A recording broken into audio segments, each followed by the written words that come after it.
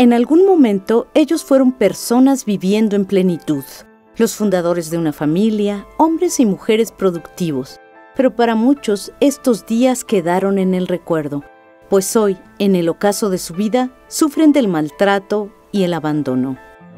Por supuesto, el tema de los adultos mayores tiene que recuperar en la opinión pública una nueva visibilidad, porque hay que apartarse de una visión romántica según la cual el adulto mayor simplemente es el beneficiario del afecto o beneficiario de las políticas sociales.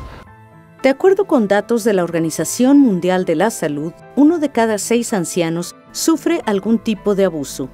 El Consejo Ciudadano para la Seguridad y la Justicia en la Ciudad de México estima que entre 60 y 80% de los adultos mayores tienen algún tipo de vulnerabilidad económica, jurídica o afectiva.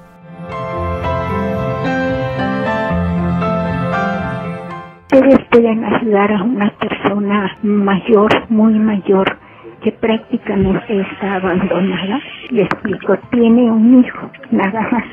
Hay veces que viene de lunes a jueves, luego pasa viernes, sábado, domingo y a veces hasta el lunes y no se para por aquí.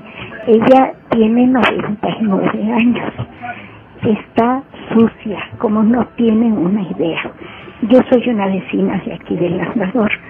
Otra vecina le trae al mediodía algo de comer. Este mm, es muy muy rejega, muy rebelde, no se deja bañar, Ay, bueno, la, la ropa que está totalmente sucia, este, a veces se sale descalza. Eh, apúrate, no te ensucies, eh, ¿por qué eres tan lento? ¿Por qué eres tan necio? Frases así que se utilizan eh, y yo creo que a veces la gente lo hacen sí, eh, sin saber que están lastimando algunas veces sí, lo saben, pero a veces ni sabemos que con esas frases o con actitudes podemos estar lastimando la autoestima.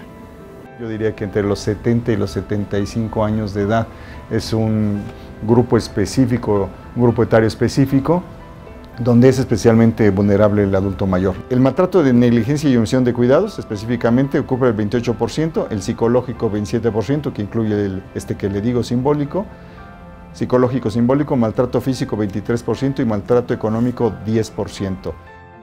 Si bien el maltrato a las personas de la tercera edad continúa siendo uno de los tipos de violencia menos abordado, esfuerzos como la tipificación del delito de maltrato a los adultos mayores en el Código Penal Federal, la Ley de Derechos de las Personas Adultas Mayores y líneas de denuncia se suman para visibilizar y dar una posible salida a este problema social.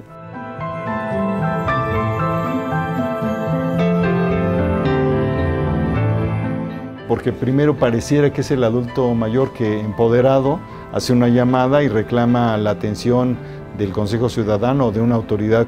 Yo diría que alrededor del 55% de las llamadas son realizadas a veces por personas distintas del adulto mayor no la baja de pendeja, de loca, de estúpida, estás loca, o sea, ella es una señora mayor, de hecho, pues ella le hace el hacer a ella todo, todo lo, todas las cosas que ella debiera de hacer, pues su mamá se las hace.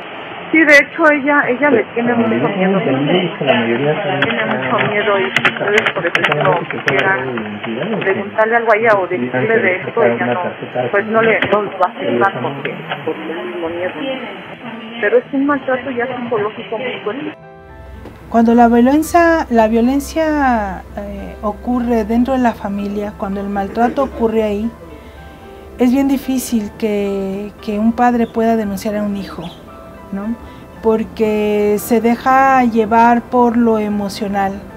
Es mi hijo, si él es mi hijo, él es mi hija y no tengo a nadie más. De enero a la fecha tenemos 568 reportes de maltrato del adulto mayor. Eh, estimamos nosotros que, como ocurre con otros temas, los reportes son una mínima proporción de las llamadas que se realizan, que a su vez son una mínima proporción de una problemática que existe.